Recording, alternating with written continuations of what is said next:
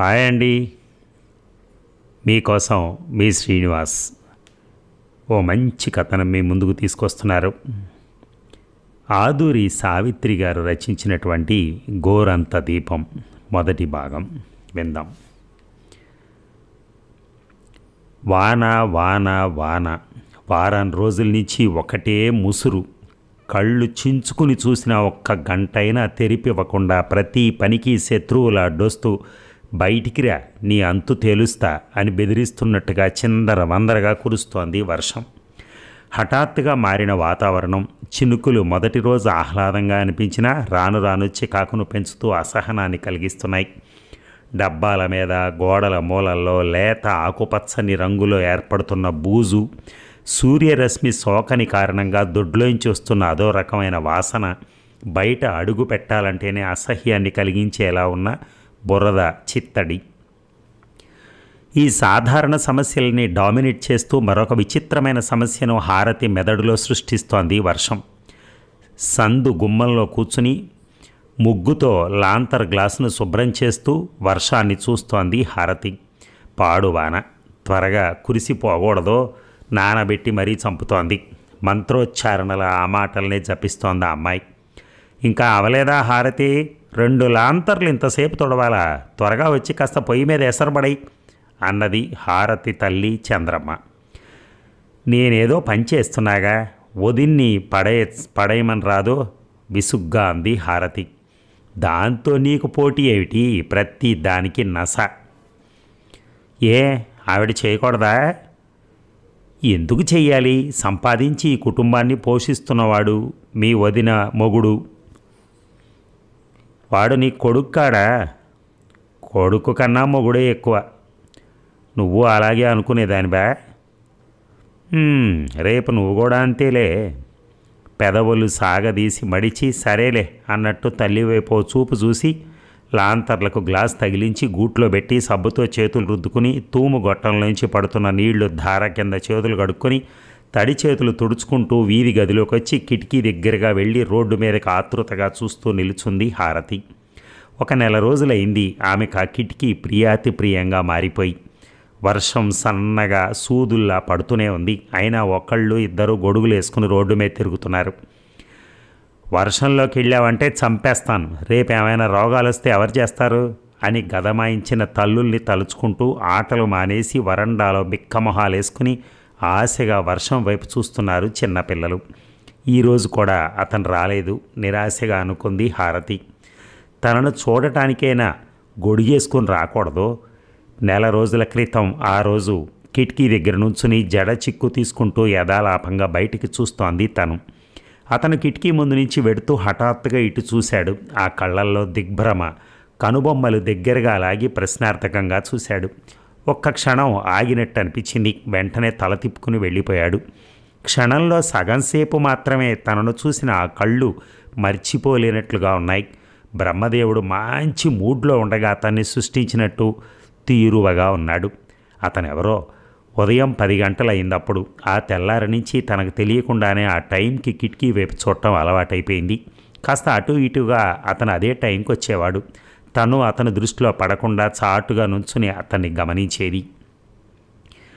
అంతవరకు గబగబా నడిచొచ్చి ఆ కిటికీ దగ్గర ఆగి నెమ్మదిగా సిగరెట్ తీసి వెలిగించుకుని అగ్గిపుల్లను పారేసే నెపంతో కిటికీ వైపు చూసేవాడు. హారతికి ఇదంతా తమాషాగా కించిత్ గర్వంగా అనిపించేది. ఒక్కసారి ఆమె జడ అల్లుకుంటూ కిటికీ దగ్గరే నిలబడి యథాలాపంగా చూసినట్టుగా అతని వైపు చూసేది. అలాంటప్పుడు అతని కళ్ళు తళుక్కన మెరిసేవి. ఇదొక అలవాటుగా ఇంకా చెప్పాలంటే ఒక వ్యసనంగా మారింది ఆమెకి. ఉదయం పది గంటలు అవటం కోసం ఎదురు చూడటంలోనే మిగిలిన రోజంతా థ్రిల్లింగ్గా గడిపేది ఆమె. హారతి పదహారేళ్ళ వయసు చేసే రొదకు అతను కేంద్ర బిందువుగా ఉండేవాడు. ఎంత పనిలో ఉన్నా తల్లి విసుక్కుంటున్నా లెక్క చేయకుండా ఆ టైంకి కిటికీకి అంటుకుపోయేది ఆమె. అలాంటిది అతన్ని చూసి వారం రోజులైంది. దీనికంతకీ ఈ పాడు వర్షమే కారణం. ఒక రోజు కాదు రెండు రోజులు కాదు వారం రోజులు. రోజుకి ఇరవై నాలుగు గంటలు గంటకి ఓహ్ ఎలా గడపగలిగింది తను? కిటికీ రెక్క మీద చెయ్యి ఆనించి నిలబడ్డ హారతి ఒక్కసారిగా ఎలర్ట్ అయింది. అతను అతనే పిచ్చి సంతోషం వచ్చేసింది ఆమెకి. ఇన్ని రోజులు ఏమయ్యావు నేస్తాం? రాకుండా ఎలా ఉండగలిగావు? అని అడిగేయాలన్నంత ఉద్రేకం వస్తోంది. గొడుగు కర్రని ఎడమ చెంప కింద నొక్కి పెట్టి సిగరెట్ వెలిగించుకుని అగ్గిపొల్ల నిదానంగా పారేస్తూ ఇటు చూశాడతను. అతను హారతి కళ్ళలో మెరుస్తున్న సంతోషాన్ని గుర్తించిన వాళ్ళ చిరునవ్వు నవ్వాడు. చటక్కన పక్కకు తప్పుకుందామె. అతను చకచకా వెళ్ళిపోయాడు.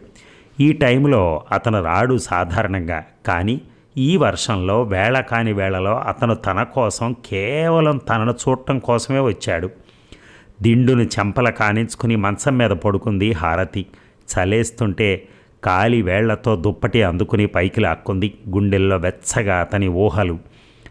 అసుర సంధ్య వేళ ఆ పడకేమిటే? లే అన్నయ్య వస్తే తిడతాడు. లేచొచ్చి కూర తరిగిపెట్టు అన్నది చంద్రమ్మ.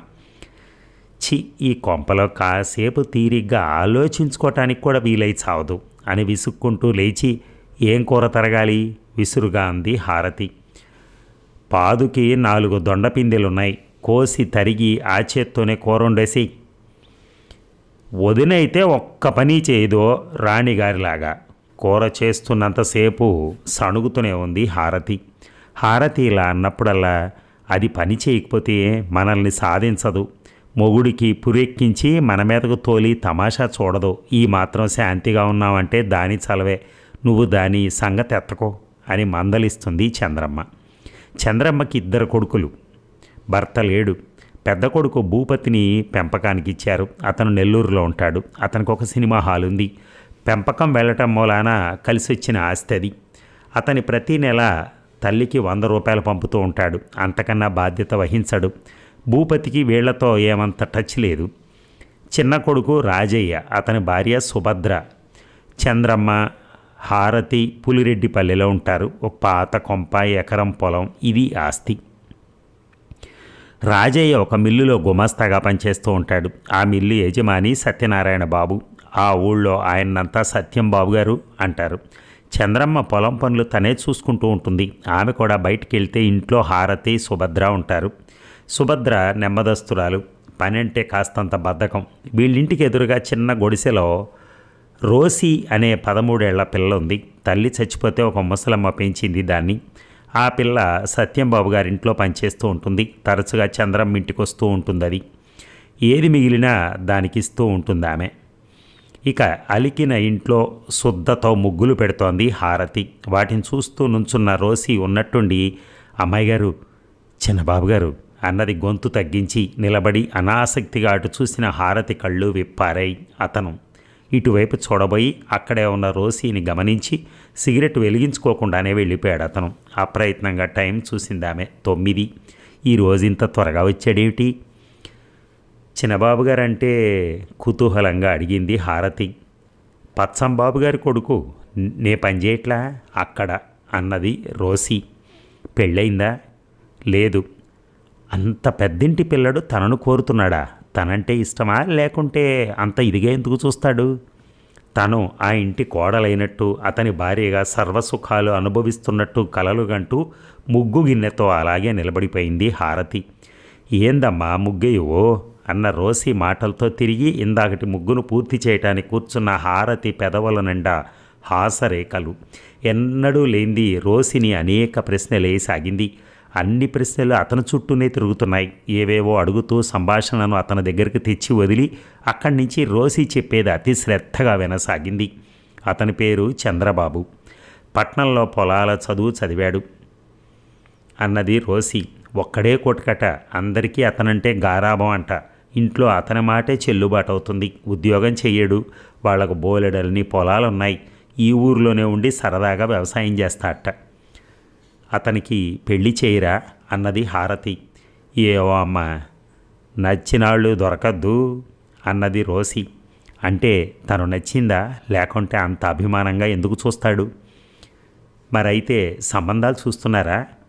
ఏమో అమ్మా నీతో బాగా మాట్లాడతాడా? అది కాదు సరదాగా ఉంటాడా అని. అట్టే మాట్లాడ్డమ్మా నాతో కూడా ఏదన్నా పనుంటే పిలుస్తాడు.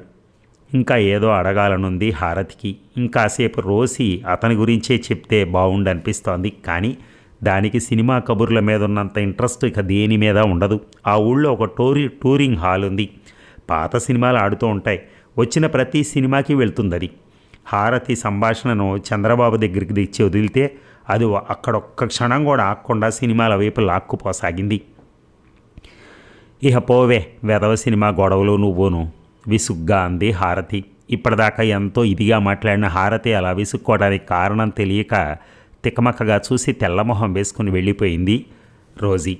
అయితే అతని పేరు చంద్రబాబు అన్నమాట. బాగుంది అతనిలాగే. చంద్రబాబు చంద్రబాబు చంద్ర. హారతి చంద్రబాబు. బాగుంది ముగ్గు పెట్టడం అయ్యాక పరధ్యానంగానే స్నానం చేసింది హారతి. స్నానం చేస్తుంటే అతను గుర్తొచ్చి అరచేతులతో కళ్ళు మూసుకుంది. ఆ సిగ్గు తమకం హాయిగా మత్తుగానే ఉన్నాయి ఆమెకి. ఈ ఊహలు అతనికి ఉంటాయా? తెలుసుకోగల శక్తి ఉంటే ఎంత బాగుండు ఇక ఉన్నట్టుండి చంద్రమ్మకి గుండెపోటు వచ్చింది ఆమెను పట్నం తీసుకెళ్ళి హాస్పిటల్లో చేర్పించి తోడుగా సుభద్రను అక్కడి నుంచి వచ్చాడు రాజయ్య. ఇంట్లో హారతి ఒక్కతే ఉంది. రాజయ్య మిల్లుకు ఉదయం పెడితే సాయంత్రం దాకా రాడు. ఆ రోజు చంద్రబాబు తన గుమ్మం వైపు రావటం చూసి కిటికీ దగ్గర నుంచి ఒక్క ఉదుటిన గుమ్మంలోకి వచ్చింది హారతి. ఆమెకు గుండెల్లో రైళ్ళు పరిగెడుతున్నట్టు అనిపిస్తోంది. కొంచెం మంచినీళ్ళు ఇస్తావా హారతి కళ్ళల్లోకి చూస్తూ అడిగాడు చంద్రబాబు. అతనికి నీళ్ళు ఇవ్వబోతుంటే చెయ్యి వణికి నీళ్ళు అతని మీద తొణికాయి. ఏం చేయాలో తోచక గబుక్కున బయట కొంగుతో అద్దబోతూ ఉంటే ఆ పని తనే చేస్తూ కొంటెగా నవ్వాడు అతను అతని చేతిలో తన పైట నోరెండిపోతున్నట్టుగా మనస్సు ఘనీభవిస్తున్నట్టుగా ఎదిరిస్తే అతని కోపం వస్తుందేమో అని భయపడుతున్నట్టుగా కట్రాటలా నిలబడ్డ హారతి అతని తలుపు మూసి గడియ పెట్టడంతో దిగ్భ్రాంతి నుంచి బయటపడింది. ఆమె పెద్ద పెద్ద కళ్ళల్లో కనిపిస్తున్న అమాయకత్వం బేలతనం ముగ్ధత్వం బెదురు చంద్రబాబుని ఉక్కిరి బిక్కిరి చేస్తున్నాయి. పల్లెటూరులో ఒక పెంకుటింటి తాలూకా విశాలమైన పెరట్లో ఆరోగ్యంగా విచ్చుకున్న ముద్దబంతి పువ్వులా ఉందామె. నోట్లో వేలుంచుకుని నవ్వులు అలకబోస్తూ అమాయకంగా ఆత్రంగా నిప్పు దగ్గరికి పాకుతూ వెళ్ళే పసిపాపలా ఉందామె. ఆమె చుట్టూ చేతులేసి దగ్గరికి లాక్కుని వణుకుతున్న ఆమె పెదాలను తన తడి పెదవులతో మూసాడతను కావాలి. వద్దు. కావాలి. వద్దు. వద్దు. కావాలి. నరాలు లాగి ముడేస్తున్నట్టుగా ఆ స్పర్శ. సగం మైకంలోకి నెట్టేస్తున్నట్టున్న ఆ పరిష్వంగం ఆమెను నిరుత్తరురాలయ్యేలా చేశాయి. ఆ ప్రయత్నంగా ఆమె మెత్తని చేతులు అతన్ని పెనవేసుకున్నాయి. ఎలా ఉంది? సిగ్గుగా అడిగింది హారతి. అది నేను నిన్ను అడగాల్సిన ప్రశ్న. నీకెలా ఉంది? అంటూ నవ్వాడు చంద్రబాబు. అలా నేను మిమ్మల్ని అడగకూడదా? అడగచ్చు. నాకు అద్భుతంగా ఉంది నిజంగా. ఇంత ఫ్రెష్నెస్ని ఈ మధ్య కాలంలో ఎప్పుడూ ఎంజాయ్ చేయలేదు. ఆమెకు అర్థం కాలేదు అతని భాష. అర్థమైంది ఒకటే తను అతనికి చాలా నచ్చింది. కాస్త దగ్గరగా జరుగు. మళ్ళీ నా అన్నయ్య వచ్చేస్తాడేమో. అప్పుడే రాళ్ళే ప్లీజ్. వస్తాను. షర్టు చేతులు కిందకి లాగి గుండీలు పెట్టుకుంటూ అన్నాడు అతను. రేపొస్తారా? ఏమిటి రేపు రావాలా? ఆమె గొంతులో ఆతృతను గమనించి అల్లరి అడిగాడు అతను. అందుకోసమనే కాదు రేపటిదాకా మీరు కనపడరనుకుంటే దిగులుగా ఉంది. మీరు దగ్గరుంటే చాలా అనిపిస్తోంది అని ఫ్రాంక్గా అంది హారతి. తప్పకుండా వస్తాను.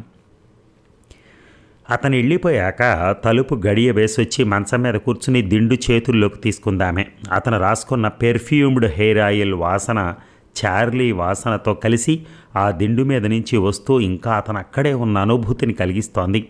విషాదము సంతోషము కలగలిగిన భావన ఏదో ఆమెను చుట్టుముట్టి వదలటం లేదు. బియ్యం కడిగి నీళ్ళు పోయకుండానే పొయ్యి మీద పెట్టింది. కూర తరుగుతూ చెక్కులు పళ్ళెంలో వేసి ముక్కలు కింద పారేసింది. వంటగదిలోకి ముందు గదిలోకి ఏ పనో మర్చిపోయిందనలాగా పదే పదే తిరిగింది. తన మతిమరుపుకు తనే నవ్వేసుకుంది. చెల్లెలి మొహంలో విల్లి విరుస్తున్న ఉత్సాహాన్ని ఆశ్చర్యంగా చూశాడు రాజయ్య. అమ్మ దగ్గర నుంచి ఉత్తరం వచ్చిందా? అన్నాడు అతను అవునన్నయ్య అమ్మ వదిన రేపు సాయంత్రం వస్తున్నారట. చంద్రబాబు వచ్చి వెళ్ళాక చదివిన ఉత్తరాన్ని గుర్తు తెచ్చుకుంటూ తడబాటుగా అంది హారతి. అదా సంగతి అనుకున్నాడు రాజయ్య. ఇక అమ్మా హారతికో సంబంధం చూశాను. అతను వయసులో కాస్త ముదిరే అయినా అలా కనిపించడు. కాస్తో కూస్తో ఆస్తిపాస్తులున్నాయి ముఖ్యంగా. సరేలే అవన్నీ తర్వాత. ఎల్లుండి వాళ్ళొచ్చి మన పిల్లని చూసుకుంటారు అన్నాడు రాజయ్య. వాళ్ళు రావటం హారతి వాళ్ళకి నచ్చటం వాళ్ళు తమ అంగీకారాన్ని తెలపటం జరిగిపోయింది. చంద్రబాబు పక్కన నల్లగా లావుగా ఉన్న ఈ పెళ్ళి కొడుకును ఊహించుకుని తల్లడిల్లిపోయింది హారతి. తనకిష్టం లేదనే విషయాన్ని వీళ్ళకి ఎలా తెలియజేయాలి? అమ్మా వీళ్ళు కట్నం వద్దన్నారు. కట్నం ఇచ్చి దాన్ని పెళ్ళి చేసే స్తోమత నాకు లేదు. ఇంటి పరిస్థితి మీకు తెలుసు అన్న రాజయ్య మాటల్ని మనస్ఫూర్తిగా అంగీకరించింది చంద్రమ్మ. నేను అతన్ని చేసుకోనమ్మా. అని ఏడుస్తున్న హారతిని చూసి ఆమె మాతృహృదయం తొట్రుపడిన వాస్తవాన్ని గుర్తించి మనసు రాయి చేసుకుంది. పుత్తడి బొమ్మ లాంటి హారతి పక్కన అతను ఎబ్బెట్టుగా మోటుగా అనిపిస్తాడు. కానీ తమలాంటి వాళ్ళు అందని వాటి కోసం అంగలార్చడం కన్నా ఉన్నదాంతో తృప్తి పట్టమే మంచిది. కాస్త నల్లగా లావుగా ఉన్నాడన్న మాటే కానీ అతనికి ఏం తక్కువ? కోరిన తిండి బట్ట అమరుతాయి సరైన కూడు గూడు కంటే ఆడపిల్లకి ఇంకేం కావాలి? మీ అన్న సంగతి కూడా కాస్త ఆలోచించు. ఇంకో సంబంధం వాడు తీసుకురాలేడు అంటూ హారతికి నచ్చ చెప్పడం ప్రారంభించింది చంద్రమ్మ. అమ్మ నసుగుతున్నట్టుగా అంది హారతి. ఏమిటో చెప్పు అన్నది చంద్రమ్మ. నేను నేను చంద్రబాబుని చేసుకుంటాను. ఆయన ఎవరు? సత్యం బాబుగారి కొడుకు. ఆ తెరిచిన నోరు తెరిచినట్టే ఉండిపోయింది చంద్రమ్మకి. ఈ పిల్లకి ఏం పోయే కాలం వచ్చింది? తను కలగంటం లేదు కదా. ఏమిటి? సత్యం బాబు గారి కొడుకుని చేసుకుంటావా నువ్వు? అపనపాంకంగా అడిగింది ఆమె.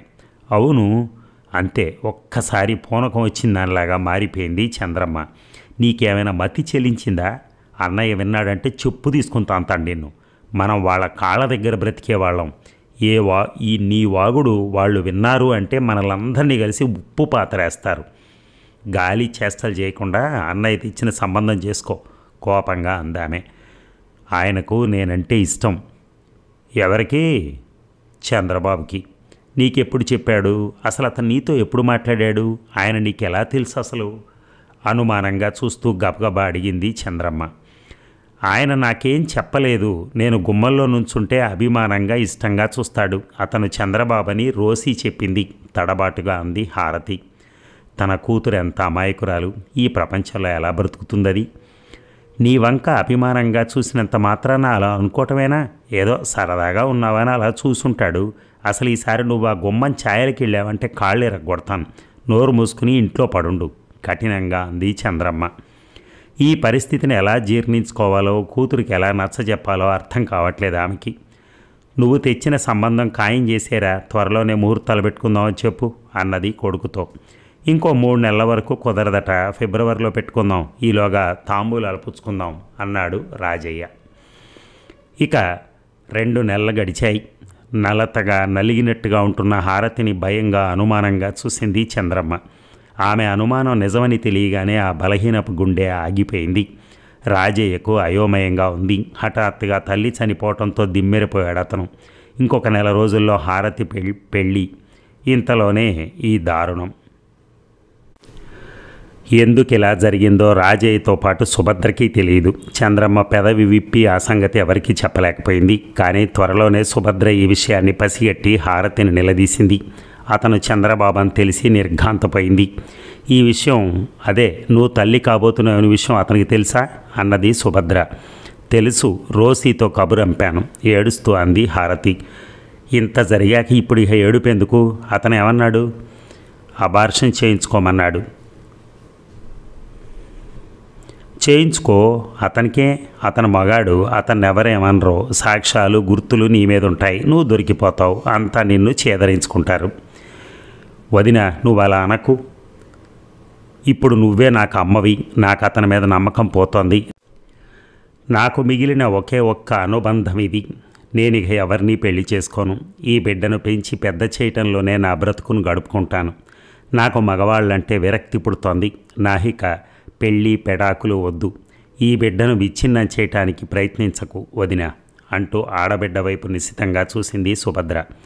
అమాయకంగా చిక్కి శల్యమైన శరీరంతో బెంగ నిండిన ముఖంతో దీనంగా ఉన్న కళ్ళతో కన్నీళ్ళతో మలినమైన బుగ్గలతో ఇంకా పసితనం వేడనట్టున్న హారతిని చూస్తుంటే జాలి పొంగుకొచ్చింది ఆమెకి. యుగయుగాల స్త్రీ చరిత్రకు ప్రతిరూపం ఇది.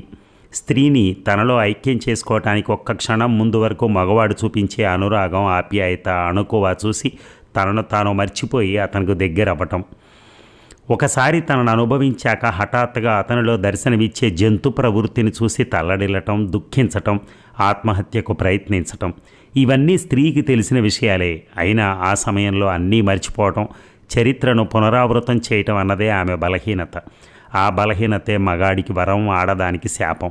మీ అన్నయ్య వెళ్ళి ప్రాధేయపడితే వింటారేమో ప్రయత్నిద్దాం అంటున్న సుభద్ర వైపు కృతజ్ఞతగా చూసింది హారతి. అమ్మ చెప్పేది నిజమే. చాలామంది ఆడవాళ్ళ కన్నా వదిన నయ్యం కోమలమైన మనసు ఆమెది అనుకుంది హారతి. ఇక అదేమిటి? నీకు నాకు పెట్టామే? హారతి అన్నం తినదా? తిన్నదా లేకపోతే తినదా? ఏం చేస్తుంది అది ఈ మధ్య అదంత హుషారుగా ఉండట్లేదే. చిక్కి శల్యం అయిపోతోంది. అమ్మ మీద బెంగ పెట్టుకున్నట్టుంది. నువ్వు దాన్ని బాగా దగ్గరికి తీ. దాన్ని ఇటు పిలు అన్నానికి కూర్చుంటూ అన్నాడు రాజయ్య. మీకు ఆవకాయ వేనా నిదానంగా అంది సుభద్ర. హారతి నిటు పిలు అన్నట్టు ఆవకాయలో నెయ్యి వేసుకుంటారా? నూనె తీసుకురానా? దాన్ని కూడా వచ్చి ఇక్కడ కూర్చోమను. పిచ్చి మొద్దులాగా గదిలో ఒక్కతే కూర్చుని ఏడుస్తున్నట్టుంది. ఆవకాయలో వెన్నపూస నంచుకుంటారా? నీ ఆవకాయ తగలయ్యా. నేను చెప్పేది వినపెట్టలా నీకు? దానికి జ్వరంగా ఉంది. ఆచార్యని పిలిపించి చూపించకపోయావా? చూపించాను. మందు పొట్లాలు ఇచ్చి వెళ్ళాడు. అమ్మ మీద బెంగ అనుకుంటాను. అప్పుడే మజ్జిగ పోసుకుంటున్నారే? ఆకలి లేదు. ఇవన్నీ త్వరగా సర్దేసి వస్తాను నిద్రపోకండి అప్పుడే.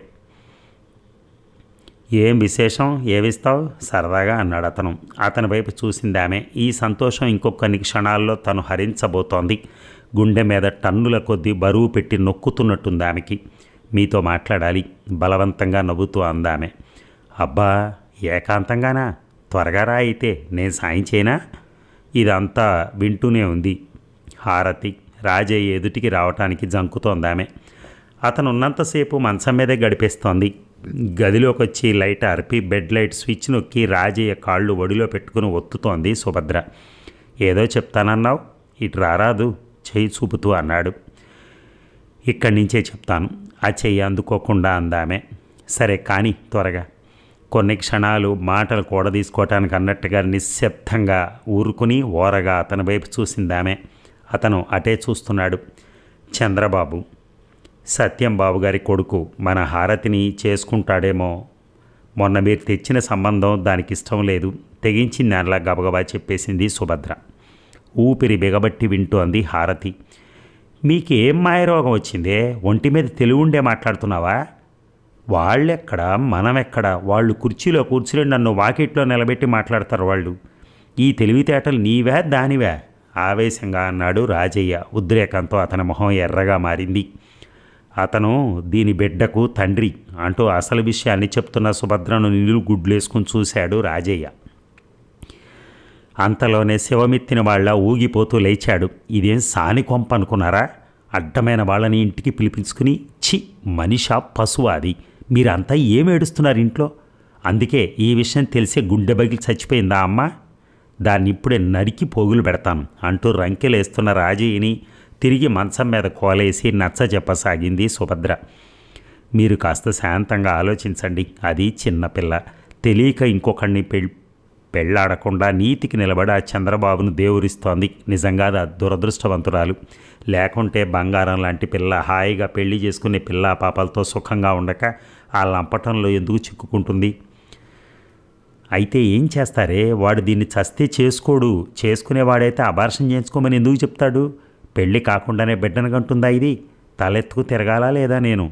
అంటూ రాజయ్య ఇది ఇరిటేట్ అవ్వటం సుభద్ర అనునయ వాక్యాలు అన్నీ వింటూ ఆ భయంకరమైన రాత్రిని రెప్ప వేయకుండా గడిపింది హారతి. రాజయ్య రాయబారం ఫలించలేదు. ఆ వర్గంలో వాళ్ళు అనవలసిన మాటలన్నీ అన్నాడు సత్యంబాబు.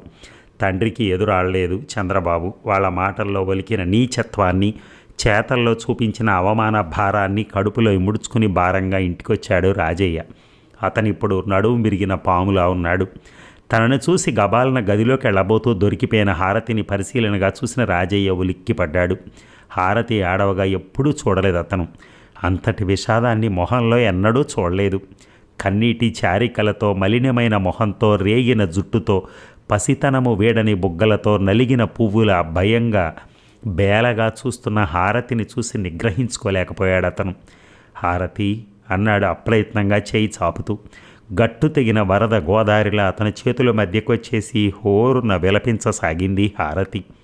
రాజయ్య చంద్రబాబు గురించి తెచ్చిన వర్తమానం వినగానే అంతవరకు ఏ మూలనో మినుకు మినుకుమంటున్న ఆశ కాస్త హరించుకుపోగా బేలగా మారిపోయిందామె ఆ రాత్రంతా ఆలోచించారు రాజయ్య సుభద్ర. ఏమీ జరగనట్టు ఇంకొకరిని పెళ్ళి చేసుకోవటానికి హారతి ఒప్పుకోలేదు. అలా అయితే తానే ఆత్మహత్య చేసుకుంటానంది. నువ్వెందుకే చావటం? సరే కానీ పుస్తే కడితేనే మొగుడా. వాడల దర్జాగా నీలగటం. నువ్వు ఇలా కుళ్ళి కుళ్ళి చావటం ఏమిటి? తప్పో ఒప్పో ఇద్దరు కలిసే చేశారు. వాడు హాయిగా ఇంకో దాన్ని పెళ్ళి చేసుకుంటాడు. నువ్వు ఇలా మోడులాగా వాడికి బడి ఏడుస్తూ ఇంతోటి దానికి బిడ్డను కూడా చంపుకోవటం దీనికి? ఇలాగే ఉండు. ఈ ఏడవకు నువ్వు. నీకు నేనున్నాను. ధైర్యంగా అంది సుభద్ర.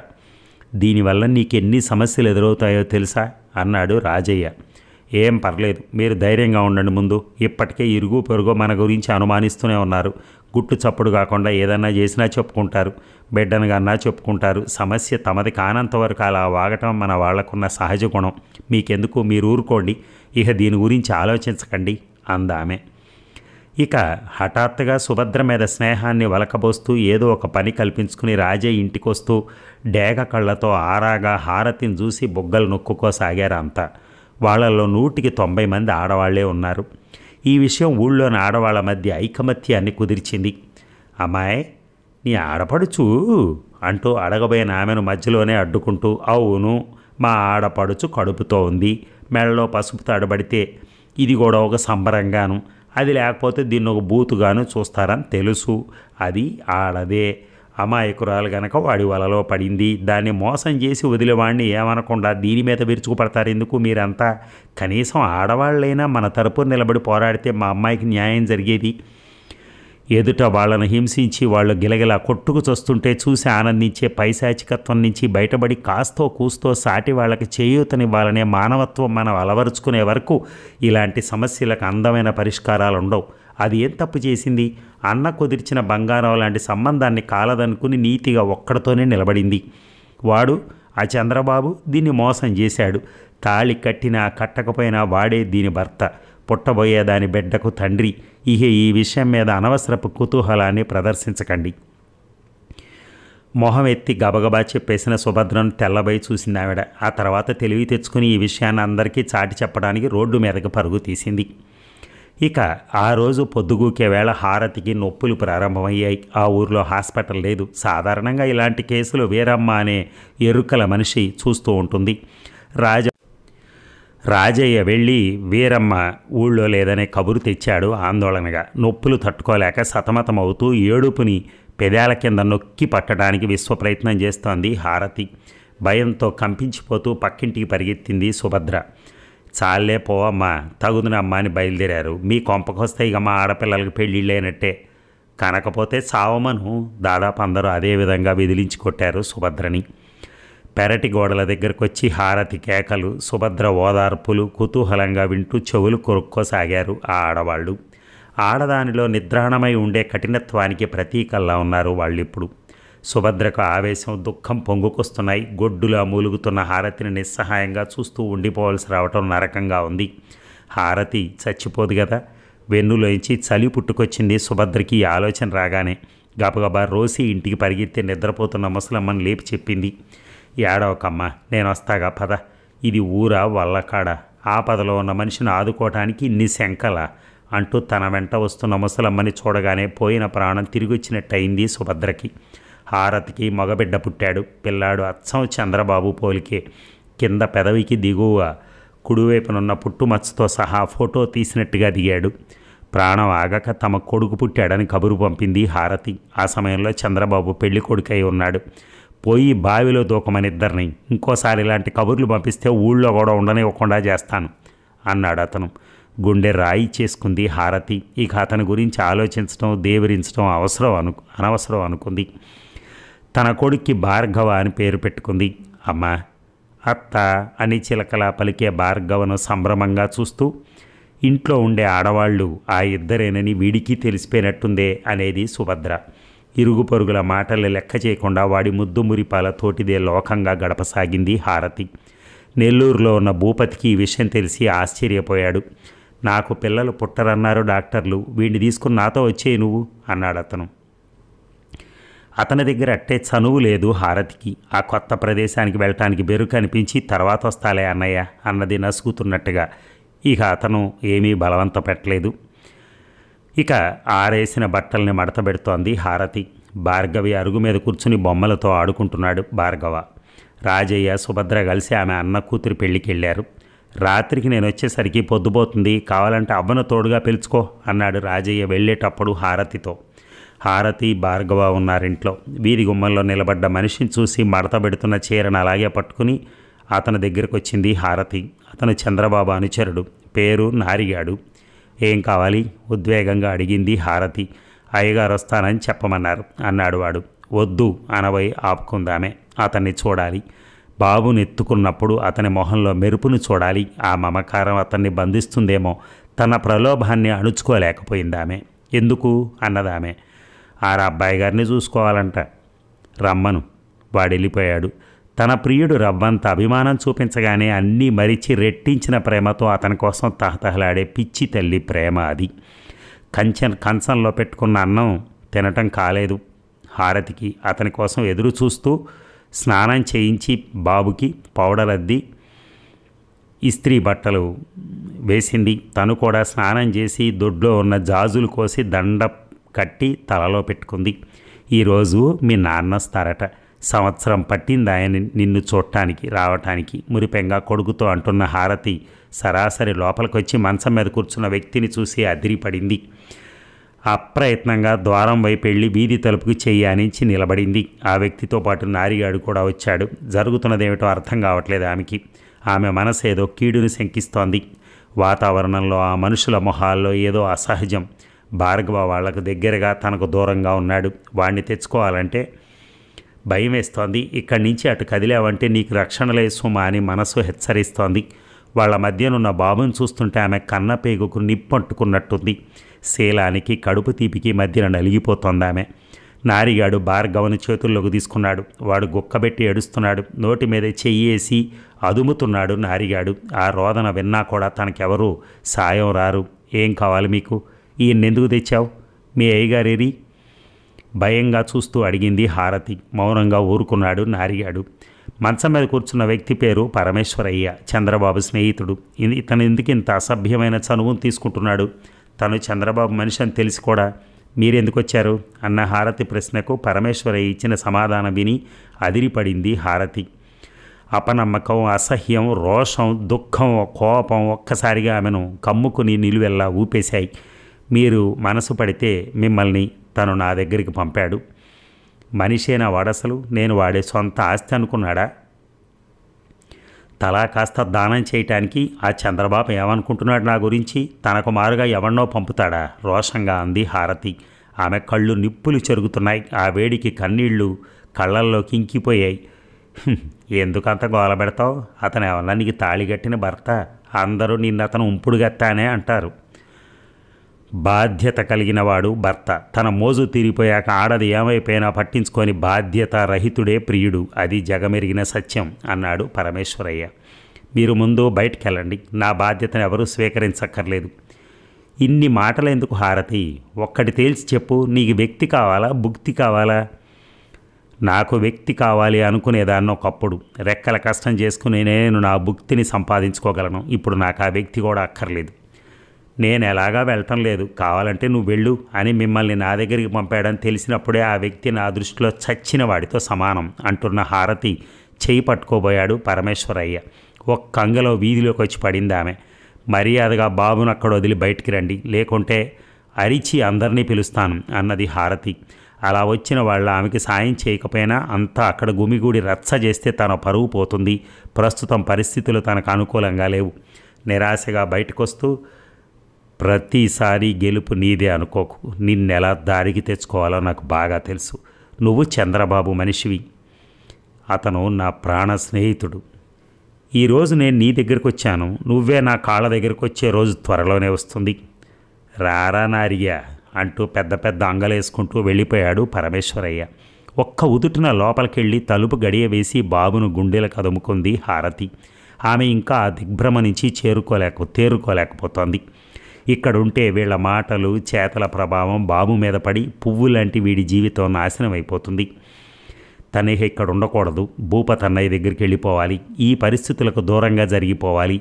వీడు పెద్ద అయ్యాక నాన్న ఏడని అడిగితే అడగడు. అడగకుండా చేస్తుంది తను. ఒక నిర్ణయానికి వచ్చిన తర్వాత సగం బరువు తీరినట్టు అనిపించింది ఆమెకి. ఇక హారతి చెప్పిందంతా విన్నాడు రాజయ్య. ఆ చంద్రబాబు వీడి మనుషుల బారి నుంచి తన చెల్లెల్ని రక్షించుకోగల శక్తి తనకు లేదు. ఏదైనా చేయగలరు వాళ్ళు. హారతిని ఇక్కడి నుంచి పంపేయటమే మంచిది అని నిర్ణయించుకున్నాడు తను. వీడిని తీసుకుని నువ్వు వెళ్ళిపోతావా? అంటూ ఏడిచింది సుభద్ర. భూపతి దగ్గరికి తను ఎప్పుడూ వెళ్ళలేదు. అక్కడ ఎలా ఉంటుందో దిగులుగా బట్టలు సూట్ కేసులో సర్దుకుంటూ అనుకుంది హారతి. గదిలోంచి బయటకొచ్చిన హారతి అవతారం చూసి కొయ్య అయింది సుభద్ర. బోసిగా ఉన్న చేతులతో కుంకుమదేవి నుదురుతో కుంకుమ లేని నుదురుతో ఆకులు రాల్చిన చెట్టులా ఉంది హారతి. ఇదేమిటే? అన్నది సుభద్ర అయోమయంగా. వదిన నేను చంద్రబాబే నా భర్త అనుకున్నాను. భర్త చనిపోతే ఆడది పసుపు కుంకుమలు తీయచ్చు తీయకపోవచ్చు కానీ అతను బ్రతికుంటే మాత్రం పసుపు కుంకుమలు తీయదు. సెంటిమెంట్తో చస్తుంది అలా చెయ్యాలంటే. నిన్నటి వరకు నేను అంతే. ఇప్పుడు నాకు భార్గవ భవిష్యత్తు ముఖ్యం. వాడు పెద్దయ్యాక ఎవరైనా తన తండ్రి గురించి అడిగితే సమాధానం వెతుక్కునే దుస్థితి వాడికి కలగకూడదు. ఈ సమాజం వాడి మీదకి ఉసిగొలిపిన కుక్కలా ఉరకకుండా ఉండాలి అంటే ఇదొక్కటే మార్గం. భర్త పోయి పసిబిడ్డతో ఒంటరిగా మిగిలిన ఆడపిల్ల అని సమాజం చూపించే సానుభూతి చాలా అవసరం నాకు. అందుకు అనుగుణంగా తయారై పెడుతున్నాను స్థిరంగా అంది హారతి. కిటికీలోంచి చంద్రబాబు ఆసక్తిగా తనను చూడగానే అతను తనను ప్రేమిస్తున్నాడని పెళ్ళాడతాడని భ్రమపడి తన సర్వస్వాన్ని దోచుకొనిచ్చిన పిచ్చి హారతి కాదిది అనుభవాలు మనిషి మేధస్సును పుటం పెడతాయి కాబోలు. దుఃఖభారంతో వాళ్ళకు వీడుకోలిచ్చింది సుభద్ర. ఇక రెండేళ్ళ భార్గవతో భూపతి ఇంట్లో అడుగుపెట్టింది హారతి. భూపతి భార్య ఉత్తర అదో రకం మనిషి అందరూ ఆమెను మతిలేని మనిషి అంటారు. ఇప్పుడున్న మూడు ఇంకాసేపటికి ఉండదు ఇప్పుడు చెప్పిన మాటనే ఇంకాసేపు అయ్యాక రివర్స్ చేసి చెప్తుంది. ఎప్పుడూ ఏదో ఒకటి మాట్లాడుతూనే ఉంటుంది కానీ ఆమె పిచ్చిదిలా ఉండదు. ఆ తీరు ఎదుటి వాళ్ళను పిచ్చెక్కించేలా ఉంటుంది. ఇష్టమైతే ఇంట్లో పనిచేస్తుంది లేకుంటే దాన్ని అలాగే వదిలేసి వీధిలో ఆడవాళ్ళందరినీ పోగేసి కబుర్లు చెప్తూ కూర్చుంటుంది. ఒక్కోసారి భూపతి వచ్చేసరికి ఇంట్లో అన్నం వండిన ఛాయలు కూడా ఉండేవి కావు. అతను అలాగే ఆకలితోనే పడుకునేవాడు. హారతి వచ్చాక ఇంటి బాధ్యత తను వహించడంతో భూపతికి హాయిగా అనిపించింది. హారతి వేసిన వితంతు అవతారం వల్ల ఊళ్ళో వాళ్ళ ప్రశ్నలు విమర్శలు ఎదుర్కోనక్కర్లేకపోవటం మరీ రిలీఫ్గా ఉంది అతనికి. భూపతి భార్గవను బాగా అభిమానించేవాడు. ఉత్తర ఒక్కొక్కసారి తన గారాబంతో వాడిని ఉక్కిరి బిక్కిరి చేసేది. ఒక్కొక్కసారి వాడిని అసలు పట్టించుకునేది కాదు. భూపతికి ఆ ఊళ్ళో ఒక సినిమా హాల్ ఉంది. రాత్రి సెకండ్ షో అయ్యాక ఇంటికొచ్చిన భూపతి ఉదయం ఏడింటి దాకా లేవడు. అతను లేచేసరికి అన్నీ అమర్చి ఉంచుతుంది హారతి. ఉత్తర మాటలను ఆమె పట్టించుకునేది కాదు. భార్గవ వచ్చి రాని మాటలు చెప్తూ తను కూడా తిరుగుతుంటే అన్నీ మర్చిపోయి హాయిగా నవ్వగలిగేదామె వాడు పెదవి విరిచి నవ్వితే అచ్చం చంద్రబాబు నవ్వినట్టే ఉండేది. వెనువెంటనే అతను గుర్తొచ్చి గుండెల్లో పొడిచినట్టుండేది. దాన్ని మర్చిపోవటానికి వెంటనే ఏదో ఒక పని కల్పించుకునేది. ఇక దొడ్లో మల్లె చెట్టుకి అంటు కడుతోంది హారతి. పాదులు పెట్టడం అప్పుడే పూర్తి చేసి వచ్చిందామె చిన్న గడ్డపారతో మట్టిని తవ్వుతూ చెమటకు తడిసి అతుక్కున్న జట్టును జుట్టును మోచేత్తో పైకి తోసుకోవటానికి తలెత్తిన హారతి అలాగే ఆగిపోయింది. పంపు దగ్గర నీళ్ళు పట్టుకుంటున్న యువకుడు తదేకంగా ఆమెనే గమనిస్తున్నాడు. అతను ఇంద్రనీల్ మేడ మీద పోర్షన్లో మొన్ననే చేరాడు. అప్రయత్నంగా తన వైపు చూసుకుంది హారతి. బయట జారి ఒళ్ళో పడుంది. అతన్ని అంతగా ఆకర్షించిందేమిటో అర్థం కాగానే ఆమె ముఖం ఎర్రబడింది. బయట సరిగ్గా వేసుకుని అతని వైపు తిరస్కారంగా చూసి విసవిసా లోపలికి వెళ్ళిపోయింది ఆమె. ఇక ఏమిటి తింటున్నావు? అన్నది హారతి. చాక్లెట్స్ మేడ మీద అంకులు ఇచ్చారు అన్నాడు భార్గవ. వెంటనే ఆమె మొహం అప్రసన్నంగా మారింది. సిగ్గులేదు ఎవరు ఏదిస్తే అది తీసుకోవటమేనా? ఈసారి మేడ మీదకి వెళ్ళావంటే తంతాన్ అన్నదామె మేడ మీద అంకులు మంచివారు. నీ వయసులో అంతా మంచివాళ్ళుగానే కనిపిస్తారులే. నా మాట వినవా నువ్వు? వింటాను ఈసారి వెళ్ళను. బుద్ధిగా అంటున్న భార్గవను వంగి ముద్దు పెట్టుకుందామే. ఇంద్రనీల్కి భూపతితో కూడా మంచి పరిచయం ఉంది.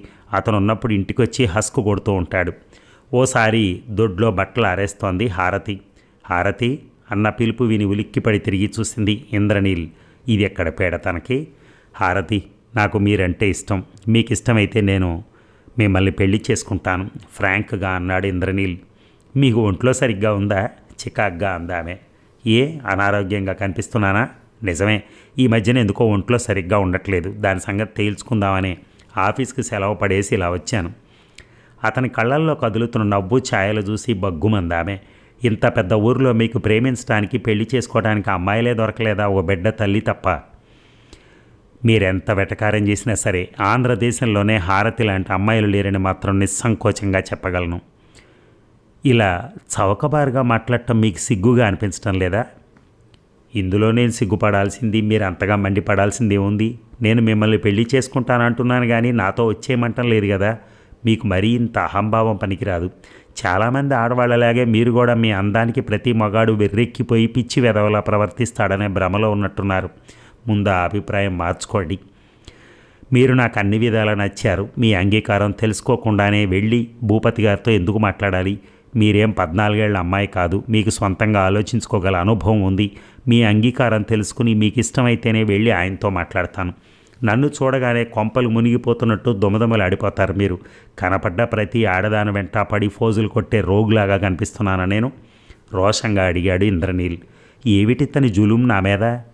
నేను మొగుడు చచ్చిన ఆడదాన్ని ఏడుపును నొక్కి పెడుతూ కసిగా అంది హారతి. మొగుడున్న ఆడదాన్ని పెళ్ళి చేసుకుంటానని ఏ మగాడు అడగడు. నీకెంత కోపం ఉన్నా మరీ ఇంత దారుణంగా మాట్లాడక్కర్లేదు. మిమ్మల్ని పెళ్ళి చేసుకోవటానికి సెకండ్ హ్యాండ్ ఆడవాళ్ళ తప్ప ఎవరూ ముందుకు రావట్లేదా? అంటే మీరు ముందుకొస్తున్నట్టేనా? నాకిష్టం లేదు. ఏమిష్టం లేదు? పెళ్ళి చేసుకోవటం. అంతే కదా నేనంటే ఇష్టం లేదంటారేమోనని భయపడ్డాను. రిలీఫ్గా నవ్వాడతాను తనేమిటి ఇంత తెలివి తక్కువగా మాట్లాడుతోంది? ఆమె ఆలోచనల్ని చెదరగొడుతూ పెళ్ళి ఇష్టం లేదంటే మీ భయాలు మీకు ఉండొచ్చు వాటిని ఫ్రాంక్గా నాతో చర్చించండి. ముఖ్యంగా భార్గవను నేను ఇష్టంగా చూసుకోనేమో అనే అనుమానం మీకు ఉండొచ్చు కానీ ఎదుటి మనిషిలో నిజాయితీని గుర్తించడం కూడా నేర్చుకోవాలి మీరు. ఎక్కడో ఏదో విని మొత్తం మగజాతిని అంతా శంకించడం తగదు.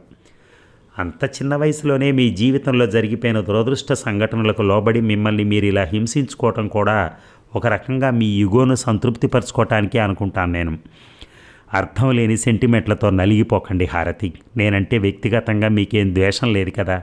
నెమ్మదిగా శాంతంగా ఆలోచించండి. నేను మీ అన్నయ్య గారితో మాట్లాడతాను. ఇది చెప్పడానికే నేను మీకు ఇలా పదే పదే అట్టా తగిలాను. క్షమించండి అంటూ ఆమెను వదిలి వెళ్ళిపోయాడు ఇంద్రనీల్. అతని మాటలు ఆమెకు సంతోషాన్ని కలిగించట్లేదు. ఇంద్రనీల్ మంచివాడే కావచ్చు. అయినా సరే తనకి తన మీద ఆసక్తి లేదు. తన ఏకైక లక్ష్యం భార్గవ. వాడు పెరిగి పెద్దవాడై చంద్రబాబు కన్నా గొప్పవాడై. అంటే భార్గవ బాగా చదువుకుని గొప్ప స్థాయికి వచ్చి పది మందిలో ఓహో అనిపించుకుంటూ వెలిగిపోవాలని ఆ దశలో వాణ్ణి చంద్రబాబు చూడాలని తన చేతిలో దారుణంగా మోసపోయిన హారతి కొడుకు బికారిలా కాకుండా హారతి పెంపకంగా ఎంత ఉచ్చ స్థితికి రాగలిగాడు అని అతడు ఆశ్చర్యంతో ఈర్షతో కుంచుకుపోతూ ఉంటే తను అతని వైపు నిరసనగా గర్వంగా చూడాలి. ఇది ప్రగాఢమైన కోరిక. ఇది నెరవేరాలంటే తన ఇలాంటి ఆకర్షణల వైపు మొగ్గకూడదు. అంతేకాదు తన సుఖం కోసం భార్గవ జీవితాన్ని తను లాటరీ వేయదు. దృఢంగా అనుకుందామే. అన్నట్టుగానే ఇంద్రనీలు వచ్చి భూపతిని అడిగినప్పుడు అతను ఆశ్చర్యంతో తలమునకలయ్యాడు. నా చెల్లెలు వితంతువు దానికో కొడుకున్నాడు అన్నాడు భూపతి. ఆ సంగతి తెలుస్తూనే ఉంది కదా నవ్వుతూ అన్నాడు ఇంద్రనీల్. మరి ఏమిటి మరి? భర్త పోయినంత మాత్రాన ఇంత చిన్న వయసులో కోరికలకు అతీతంగా మోడులాగా బ్రతకాల? మీరు కూడా ఇలా ఆలోచిస్తారేమిటి? భార్గవ హారతితో పాటే భార్గవ ఆమె కష్ట సుఖాలు అనుబంధాలు కూడా నావే.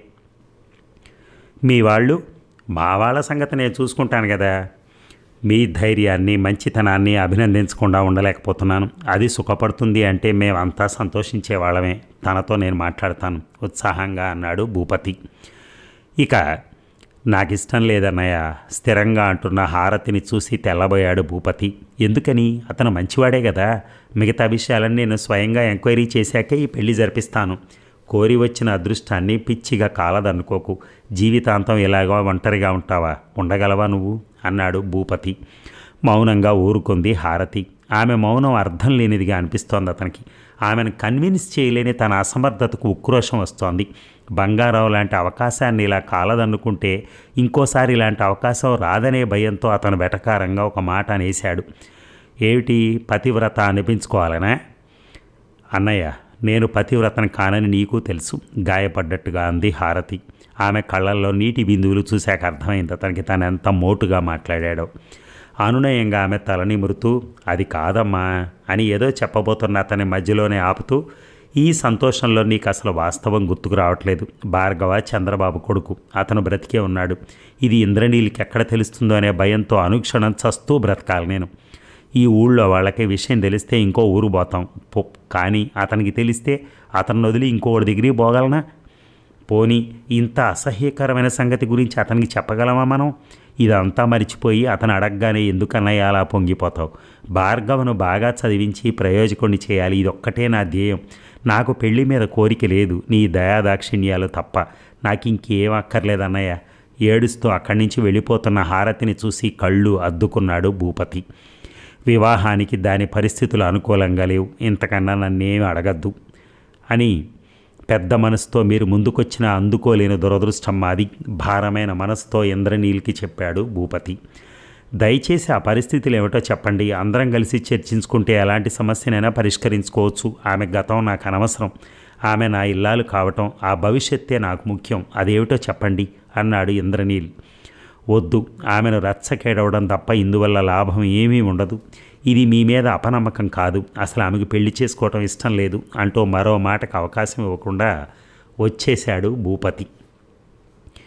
ఇక మధ్యాహ్నం మూడు గంటల వేళ ఎడాపెడా లగేజ్తో రిక్షా దిగిన ఓ స్థూల కాయాన్ని చూస్తూ వదిన ఎవరో వచ్చారు చూడు అన్నది హారతి. కట్టెను తొలగించి చూసి హారతి మా అమ్మే అంటూ ఆశ్చర్యంగా ఎదురు వెళ్ళింది ఉత్తర. సామాను లోపల సర్దుతున్న హారతిని ఆరాగా చూస్తూ ఈ పిల్లెవరో? అన్నది ఉత్తర తల్లి జగదాంబ. ఆమెకు నోటి దురుసు ఓరవలేనితనం ఎక్కువ. తన కూతురింట్లో హారతి అంతా తనదే అన్నట్టు తిరగటం అంతా ఆమె మీదే ఆధారపడటం అల్లుడు డబ్బు వ్యవహారాలన్నీ కూడా హారతికే అప్పగించడం ఇదంతా కంటగింపుగా అనిపించింది జగదాంబకి. ఇంట్లో అంతా ఉత్తరతో సహా భార్గవనంత ముద్దుగా చుట్టం కూడా నచ్చలేదు ఆవిడకి. హారతి నా ఇంట్లోంచి సాగనంపే ప్రయత్నాలు ప్రారంభించింది ఆవిడ. తను ఏ పని చేస్తున్నా వెంటాడుతున్నట్టుగా ఉండే జగదాంబ చూపులు హారతికి ఇబ్బంది కలిగిస్తున్నాయి. ఆ చూపుల్లో ఉండే వెటకారం నిరసన ఓరవలేని తనం ఆమె హృదయాన్ని గాయపరచసాగాయి. ఇహ ఎప్పటికీ ఇక్కడే ఉంటుందని ఆడపడుచు కూతురుని అడుగుతోంది జగదాంబ. ఉండకెక్కడికి పోతుంది? అది చాలా మంచి పిల్లమ్మ. ఇంట్లో అన్ని పనులు అదే చూసుకుంటుంది. భార్గవ తలదువ్వుతూ అంది ఉత్తర. నువ్వు ఊహవెర్రి బాగులు దానివి. నీ మరిదేమయ్యాడు? దీని అత్తారు మనోవర్తివరా ఏమో అవన్నీ నాకు తెలియవు. నీకెందుకు తెలియనిస్తారు? అయినా నీ మొగుడు దత్తతో చేశాడుగా. ఇంకా ఈ లంపటాన్ని ఎందుకు తగిలించుకున్నాడు? ఈ కుర్ర వెధవ చదువు ఈ ఇద్దరి పోషణ మీదేనన్నమాట. బా- బాగుందమ్మా మెత్తన వాళ్ళని చూస్తే ఒత్త బుద్ధి అవుతుంది అన్నట్టు అంతా కలిసి వీళ్ళని మీ మీద దోలేశారు.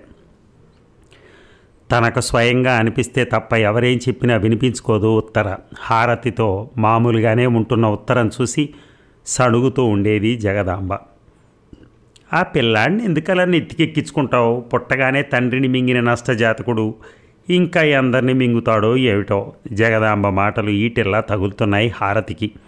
నయ్యం వీడి పుట్టుక గురించి ఏమిడకి తెలియదు దత్తత పేరుతో భూపతన్నయ్య తన నుంచి విడిపోయి దూరంగా ఉండడం ఇప్పుడు తనకు మంచిదైంది అనుకుందామె. ఒకరోజు హారతి అన్నం తింటూ ఉంటే ఎదురుగా వచ్చి కూర్చుంది జగదాంబ. ఇహ నీ మకం శాంతం ఎక్కడైనా? నీ మొగుడు తాలూకు వాళ్ళు మనోవర్తి ఏమివరా హేళనగా అడిగిందామె. అలాంటి మాటలు పడటం నరకంగా ఉంది హారతికి. ప్రశాంతంగా సాగుతున్న తమ జీవితంలోకి ఆగర్భ శత్రువులా ప్రవేశించింది ఆవిడ. ఈవిడ విషయం భూపతన్నయ్యతో చెప్పాలని ఎన్నోసార్లు అనిపించింది.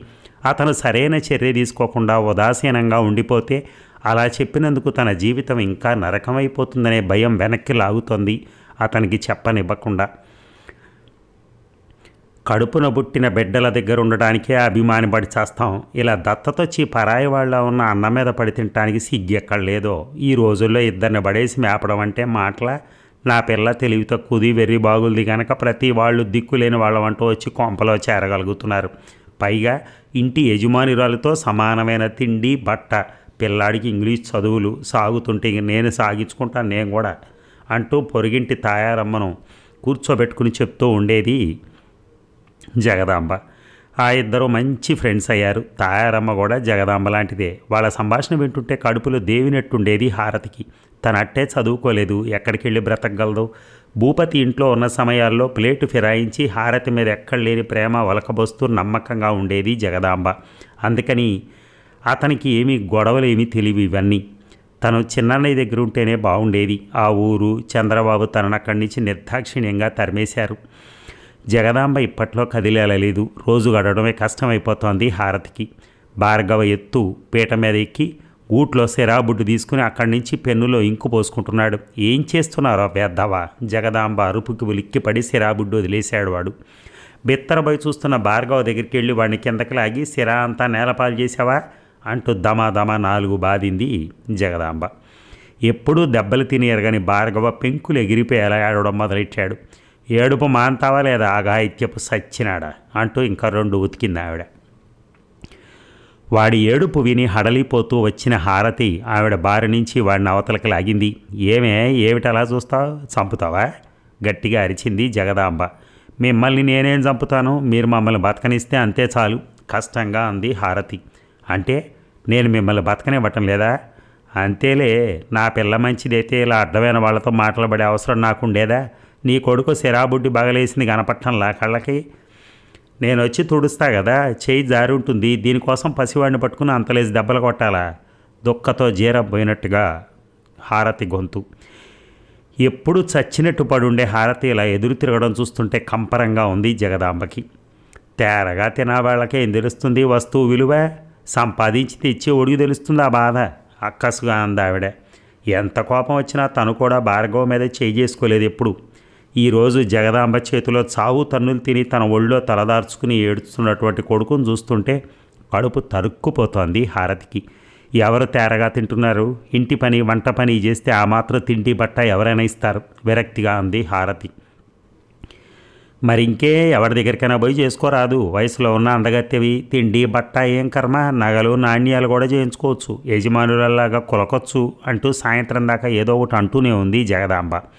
ఈ ఇంట్లో తను ఎలా గడపాలి? భార్గవ పసివాడనే దయ కూడా లేదు ఆవిడకి? కానీ ఈ గూడు వదిలి తను ఎక్కడికి పోగలదు? భూపత్ అన్నకి చెప్తే ఇలా ఎన్నిసార్లు అనిపించినా ఆ పని చేయలేకపోతోంది హారతి. నాలుగు రోజులు ఉండిపోయి ఆవిడతో నీకెందుకు? నువ్వే ఎలాగోలా సర్దుకోమ్మా నేను కల్పించుకుంటే పెద్ద ఆవిడ కదా బాగోదు అని అతను అంటే అతనికి చెప్పిందనే కసితో ఈవిడ ఇంకా విజృంభిస్తుంది. అందుకే ఈ హింసనంతా పెదవి ఒప్పకుండా భరిస్తోంది హారతి. తనిప్పుడు రెక్కలు తెగిన పక్షి భార్గవ్కు రెక్కలొచ్చే వరకు తను ఇక్కడ ఉండాల్సిందే ఇక చిన్న చిన్న కారణాలకు కూడా జగదాంబ భార్గవను కొడుతుంటే వెలవెల్లాడిపోయేది హారతి. తనను హింసించడానికి తనే ఇల్లు వదిలి వెళ్ళిపోయేలా చేయటానికి ఆవిడ ఈ మార్గం ఎన్నుకుందని తెలిసినా ఏమీ చేయలేకపోతోంది హారతి. దేవుడు తనకు అందమైన రూపాన్ని ఇచ్చాడు కానీ దానికి తగిన తెలివితేటలు ఇవ్వలేదు. లేకుంటే ఎవడో తనను కిటికీలోంచి చూస్తే పరవశించిపోయి ఒక్క క్షణంలో తన జీవితాన్ని నాశనం చేసుకుంటుందా? ఆడదాన్ని వాడుకుని వదిలేయటం మగాడి సహజ గుణం. ఈ నిజాన్ని గుర్తించలేక ప్రతి స్త్రీ కోరుకునేలాగా తనకంటూ భర్త పిల్లలతో కూడిన ఓ సంసారం లేకుండా చేసుకుని అసహజంగా ఒక కొడుకును గని ఇలా ఒకరి దయాదాక్షిణ్యాల కోసం ప్రాకులాడుతూ చి తనది ఓ బ్రతికేనా? అమ్మ మనం ఈ ఊరి నుంచి వెళ్ళిపోదాం. తల్లి కన్నీళ్ళు తుడుస్తూ అన్నాడు భార్గవ. ఎక్కడికి వెళ్తావు నాన్న? ఎవరున్నారు మనకి? తడి గొంతుతో అంది హారతి. మావయ్యతో చెప్పి దాన్ని కొట్టిద్దాం. వద్దమ్మా మావయ్యకి చెప్పకూడదు అంది హారతి. ఎందుకు చెప్పకూడదో అర్థం కాలేదు అడిగి వాడు భూపతికి చెప్పబోతుంటే హడావిడిగా వచ్చేసి వేలడంత లేవు. అలా చాడీలు చెప్పచ్చా? అంటూ ఏం లేదు నాయన. తెగ అల్లరి చేస్తుంటే చదువుకోమని గదివాన్ అంతే అన్నది జగదాంబ. తప్పు కదూ బామ్మ మీద అలా నేరాలు చెప్పచ్చా? వెళ్ళి చదువుకో అన్నాడు భూపతి మందలింపుగా. అంతకన్నా నమ్మించేలా చెప్పటం ఎలాగో వాడికి తెలియక నెమ్మదిగా చిన్నబోయిన మొహంతో తల్లి దగ్గరికి వచ్చేశాడు భార్గవ. భూపతి ఉన్నప్పుడు తమను వెన్ వెన్నంటే ఉంటుంది ఆవిడ. తాయారమ్మ వచ్చినట్టుంది. వాకిట్లోంచి ఆవిడ గొంతులో కలిసి పెద్దగా వినిపిస్తోంది జగదాంబ గొంతు. దొడ్లో తులసి కోట గట్టు మీద కూర్చున్నారు హారతి భార్గవ. ఉన్నట్టుండి అమ్మ నేను త్వరగా పెద్దయి ఇన్ని డబ్బులు సంపాదిస్తాను అన్నాడు భార్గవ. సంపాదించి అన్నది హారతి. ఇక్కడి నుంచి వెళ్ళిపోదాం. నా ఆశ కూడా అదేరా. హారతి గారు చప్పున తల తిప్పి చూసిందామె. అతను ఇంద్రనీల్. అతన్ని చూస్తుంటే గతంలో లాగా కోపం లేదు హారతికి. అతను తనను చేసుకుంటానని అన్నయ్యకి చెప్పాడు. తన తిరస్కారం తెలిసాక మౌనంగా మర్యాదగా ఉండిపోయాడు. ఎంతమందికి ఉంటుందా సంస్కారం? భార్గవను ఇప్పటికీ అతను ఎంతో అభిమానిస్తాడు. తెలియని పాఠాలు చెప్తాడు. ఏం కావాలి? అన్నది హారతి. అంకుల్ అమ్మ ఎప్పుడూ ఏడుస్తోంది అన్నాడు భార్గవ. కన్నెత్తి చూశాడు అతను. నేను చెప్పకపోయినా అన్నీ మీకు వినిపిస్తూనే ఉంటాయిగా? నన్ను నన్నెన్న నన్ను నాకు బాధ లేదు కానీ పసివాడు భార్గవ ఆవిడ దాటికి నిలబడలేకపోతున్నాడు. ఉత్త రొదిన ఏ విషయం పట్టించుకోదు ఉత్త రొదిన. అన్నయ్యకి ఇవి ఏమీ తెలియవు దిగులుగా అందామే. పోనీ నేను చెప్పనా భూపతి గారికి? వద్దొద్దు మీతో చెప్పించానని వాడు ఫీల్ అవుతాడు. హారతి చెప్పండి. వాకిలి వైపు బెదురుగా చూస్తూ అందామే ఇంకొక్కసారి ఆలోచించకూడదు. దేని గురించి? మన పెళ్ళి గురించి. ఏమిటి అసలు మీ సమస్య? నాకు చెప్పండి. ఇంకా అపనమ్మకమైన నా మీద? అది కాదు నా జీవితంలో ఒక దురదృష్ట సంఘటన జరిగిపోయింది. ఎంత ప్రయత్నించినా గతాన్ని పూడ్చిపెట్టలేకపోతున్నాను. అంటుంటే హారతి కళ్ళ నుంచి జలజల రాలే కన్నీళ్ళు. హారతి అప్రయత్నంగా అతని చేతులు ఆమె కళ్ళు తుడిచాయి. మీ గతం గురించి నాకు అక్కర్లేదు. నేను ఎప్పుడూ ప్రశ్నించను. ఇంకోసారి ఆలోచించండి హారతి. వద్దు. ఆ పేడకలను మర్చిపోవటం నాకు సాధ్యం కాదు. దయచేసి ఈ ప్రసక్తి ఇంకెప్పుడు తేకండి ఇంద్రనీల్. ప్లీజ్. మీరంటే నాకు చెప్పలేనంత అభిమానం. కానీ దాన్ని పెళ్ళితో ముడిపెట్టద్దు అన్నది హారతి. ఇది పచ్చి వ్యభిచారపు కొంపైపోయిందమ్మా. మొగుడు పోవచ్చు కానీ కోరికలు ఎక్కడికి పోతాయి? పట్ట పగలే మేడ మీద కుర్రాన్ని కిందకు పిలిపించుకుని వాడితో సరసాలు. వా అంటూ వచ్చింది జగదాంబ. జగదాంబ గారు ఇంకొక మాట మాట్లాడారంటే మర్యాద దక్కదు. తీవ్రంగా అన్నాడు ఇంద్రనీల్. నిన్ను నేను తప్పు పట్టట్లేదు నాయన. ఒళ్ళు కొవ్వెక్కి అది పిలిస్తే నువ్వేం చేస్తావు? మీరు ముందు నోరు ముయ్యండి. జాగ్రత్తగా వినండి ఇది. నేను ఆవిడ్ని పెళ్ళి చేసుకోవాలని ఆశపడ్డాను. ఈ విషయం భూపతి గారికి కూడా చెప్పాను. ఆయన ఇష్టపడ్డారు. కానీ హారతి గారు తిరస్కరించడం మూలాన ఈ పెళ్ళి ఆగిపోయింది. చాటుమాటు వ్యవహారాలు నడపాల్సిన కర్మ ఆవిడకి పట్టలేదు. ఏమిటి? పెళ్ళి మాటలు కూడా అయ్యాయా? అవునులే అది ఎందుకు ఒప్పుకుంటుంది? పెళ్ళి అయితే వెదవది ఒక్క మొగుడుతోనే పడి ఉండాలి ఇలా అయితే ఎవడి మీద మోజుపడితే వాడితోనే అన్నీ తీర్చుకోవచ్చు. ఛీ నువ్వు ఒక ఆడదానివేనా? సాటి ఆడదాని మీద అబాండాలు వేయటానికి సిగ్గు లేదు నీకు అసలు ఏళ్ళు రాగానే సరే మీరు తినేది అన్నమా గడ్డే? అసలు మీరు? ఇంద్రనీల్ మీరు వెళ్ళిపోండి ఏడుస్తూ అరిచింది హారతి. ఆవిడ మొహం చూసి ఊరుకుంటున్నాను. థు ఇలాంటి బ్రతుకో బ్రతికేనా? అని చేదరించుకుంటూ వెళ్ళిపోయాడు ఇంద్రనీల్. ఆరి పింజారి వెధవ ఎన్ని మాటలన్నాడు. ఇదంతా ఈ దరిద్రం మొహం దాని మూలానేగా. నా అల్లుడు రాని చెప్తా అని జగదాంబ రంకెలేస్తూ ఉంటే ఇలాంటివి మొగ్గలోనే తుంచేయాల్సమండి అంటూ అందిస్తోంది తాయారమ్మ. గదిలోకి వెళ్ళి తలుపులు బిగించుకుని పడుకుంది హారతి. చచ్చేంత అవమానంగా ఉంది ఆమెకి వేప చెట్టుకు తేనె పోసి పెంచితే మాత్రం దాని చేదు పోతుందా? ఇది అంతే.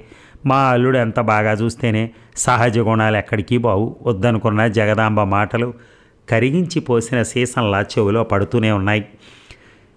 ఏడి వేడిచి ఏడ్చేడ్చి కొడుకుతో సహా సొమ్మసిలినట్టు పడుకుంది హారతి. కాసేపటికి ఉత్తరం వచ్చి హారతి అన్నానికి రా. అమ్మ దీన్ని నువ్వేమైనా అన్నావంటే ఊరుకోను. ఆయన కూడా ఊరుకోరు అంటూ తల్లి నరిచింది. ఈ మాటలు హారతికి సంతోషాన్ని కలిగించలేదు. ఇప్పుడు ఇలా అంటుంది. ఇంకాసేపటికి తల్లినే సపోర్ట్ చేస్తుంది ఉత్తర. భార్గవ్కి మొహం కడిగి అన్నం పెడుతుంటే వచ్చాడు భూపతి. ఏమైంది? కళ్ళు ఎలా ఎర్రగా ఉన్నాయే? అన్నాడు ఆశ్చర్యంగా హారతిని చూస్తూ. తలనొప్పటి నాయన. ఏడుస్తూ పడుకుంటే ఇప్పుడే లేచి మాత్ర ఇచ్చాను అంది జగదాంబ. జ్వరం ఉందా? డాక్టర్ దగ్గరికి తీసుకెళ్ళనా? అనునయంగా అన్నాడు అతను. లేదన్నయ్య డాక్టర్ దగ్గరికి వద్దు కాసేపు పడుకుంటే అదే తగ్గుతుంది. అంటూ భార్గవం తీసుకుని అవతలకి వెళ్ళిపోయింది హారతి. ఇక నా పెళ్ళి ఇదిగో శుభలేఖ తప్పకుండా మీరు కూడా రావాలి అన్నాడు ఇంద్రనీల్. ఎప్పుడు? సంతోషంగా అంది హారతి. నా పెళ్ళి మీకు ఇంత సంతోషాన్ని కలిగిస్తుందా? ఇంకా మీకు ఆ ఊహలు పోలేదా? ప్రతి స్త్రీ తన భర్త హృదయంలో తను తప్ప ఇంకెవరూ ఉండకూడదని కోరుకుంటుంది. మీరు మంచి భర్తగానే ఉండాలని నా కోరిక. ఇలాంటి ఊహలు మీ మనసులోంచి తుడిచేస్తే తప్ప నేను మీ ఇంటికి రాలేను. నన్ను మీ ఇంటి ఆడపడుచుగా మీ చెల్లిగా పరిచయం చేస్తానంటే చిచి అంతటి ఆత్మవంచన చేసుకోవటం నా వల్ల కాదు. గబుక్కున అన్నాడు ఇంద్రనీల్. అంటే నన్ను మీ ప్రియురాలుగా పరిచయం చేస్తారా? రోషంగా అంది హారతి. ఓ గాడ్ ఎంత కోపం మీకు. అలా ఎందుకంటాను? నా స్నేహితులు అలా అని చెప్తాను. అయినా మిమ్మల్ని ప్రత్యేకంగా ఎందుకు పరిచయం చేస్తాను? భూపతి గారు భూపతి గారు ఉత్తర గారితో పాటే మీరు వాళ్ళ కుటుంబ సభ్యురాలుగా వస్తారు. అప్పుడు మీకు ఇబ్బంది ఉండదుగా అని చెప్పి వెళ్ళిపోయాడు అతను.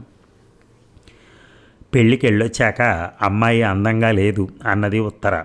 మేనత్త కూతురేనట. మొదటి నుంచి ఇంద్రనీలి ఈ పెళ్ళిని వ్యతిరేకిస్తూ ఇంట్లో వాళ్ళ మనస్తాపానికి కారకడవుతూ వచ్చాట. ఈ మధ్యన హఠాత్తుగా ఇంటికి వెళ్ళి తను ఆమెను చేసుకుంటానని చెప్పేసరికి వాళ్ళు ఎగిరి గంతేసి వెంటనే ముహూర్తం పెట్టేశారు. అది సరే ఇంద్రనీల ఆ అమ్మాయితో మన మేడ మీద కాపురం పెడతాడు. అతను హారతిని చేసుకుంటానన్నాడని మీరెవరు ఆ పిల్ల దగ్గర వాక్కండి అన్నాడు భూపతి. ఇక తన భార్య శశిని వెంటనే కాపురానికి తీసుకొచ్చాడు ఇంద్రనీల్ పెళ్ళయ్యాక ఇంకా తన ఒక్క క్షణం కూడా అతను వదిలి ఉండనని మొరాయించింది ఆ పిల్ల. శశి భార్గవను బాగా ముద్దు చేసేది. హారతితో సామరస్యంగా ఉంటూ ఆమెను అక్క అని పిలిచేది. ఒకరోజు జగదాంబ పైకి వెళ్ళి రెండు చిన్న చిన్న స్టీల్ గిన్నెలు టేబుల్ మీద పెడుతూ అమ్మాయి శశి ఇది చింత చిగురు పప్పు ఇది బెండకాయ వేపుడు. వేపు వేసుకుని తినమ్మా పాపం చిన్నపిల్లవి చేతయి చేతగాక ఏం వండుకుంటున్నావో ఏం తింటున్నావో? అవును నీకు తల్లి లేదటగా. పోన్లేమ్మా భగవంతుడికి దయ లేకపోయింది. నన్ను నీ తల్లిగా భావించుకో అమ్మా తేలులూరే మాటలతో అంది జగదాంబ. ఇక హారతి ఎప్పుడూ జగదాంబ తనను పెట్టే హింసల గురించి పెదవి విప్పి శశికి చెప్పలేదు. జగదాంబ అసలు స్వరూపం తెలియని శశి ఆవిడ మాటలకు చేతలకు అతి త్వరగా కరిగిపోయి ఆమెకు దగ్గరైంది. అప్పటినుంచి తన అట్టే పైకి వెళ్ళటం మానేసింది హారతి. ఓసారి శశికి జడవేస్తూ ఇంద్రనీల్ మీ బావేట కదమ్మా అన్నది జగదాంబ. మరే పిన్ని గారు అన్నది శశి. చిన్నప్పటి నుంచి మీ ఇద్దరు ఒకరంటే ఒకరు ఇష్టంగా ఉండేవారా? నాకిష్టమే మా బావకే అంత ఇష్టం ఉండేది కాదు. నన్ను పెళ్ళి చేసుకోనని పోట్లాడి మరీ చెప్పేవాడు. మరి ఇప్పుడు ఎలా చేసుకున్నాడు? అదే ఆశ్చర్యం. నా అదృష్టం కూడా అనుకోండి తనంతట తానే వచ్చి పెళ్ళికి అంగీకారం తెలిపాడు. ఇప్పుడు నీతో బాగుంటాడా ఆ నన్ను ప్రేమగానే చూసుకుంటున్నాడు. అతను మొదట మా హారతిని చేసుకుంటానని మా అల్లుడిని అడిగాడట. మా అల్లుడు ఒప్పుకోలేదు. నిజమా? నిజమే. ఇద్దరూ ప్రేమించుకున్నారట కూడా. ఏమిటి? ఆవిడికి మొగుళ్ళేడు ఒక కొడుకు? సరేలే తలలు బోడులైతే తలుపులు. బోడులవుతాయా? తలపులు. అయినా ఈ సంగతి ఎక్కడ అనకమ్మా? నన్ను చంపుతారు. నీకు చెప్పొద్దని ముందరే వార్నింగ్ ఇచ్చాడు మా అల్లుడు. నేనెందుకంటాను? అయితే ఆవిడ ప్రేమించి నన్ను పెళ్ళి చేసుకోవడం దేనికి? రోషంగా అంది శశి. నిన్ను చేసుకుంటే మీ అందరి కోరిక తీర్చి నిన్ను ఉద్ధరించినట్టు ఉంటుంది. వాళ్ళ చాటుమాట వ్యవహారాలకు అడ్డు లేకుండానూ ఉంటుంది. అంతగా అయితే మేనత్త కూతురువి నీకే నచ్చ చెప్పుకుంటాడు దయదలిచి చేసుకున్నాడు కదా. నువ్వు సర్దుకుపోతావు. ఓ అందుకేనా? వద్దు వద్దు అనేవాడు హఠాత్తుగా ప్లేటు మార్చాడు. ఆ హారతి టక్కులు నాకు తెలుసు. నా ఎదురుగానే నవ్వుతూ పేలుతూ మాట్లాడుకుంటారు వాళ్ళిద్దరూ. ఈర్షగా అంది శశి హారతి తనకన్నా చక్కనిది కూడా. కల్పనలాగా కిరసనాయలు చల్లి కల్పనల కిరసనాయలు చల్లి అనుమానపు అగ్గిపుల్ల వెలిగించి అవతలికి జారుకుంది జగదాంబ. శశి మనసు అంటుకుని బగబగా మండసాగింది.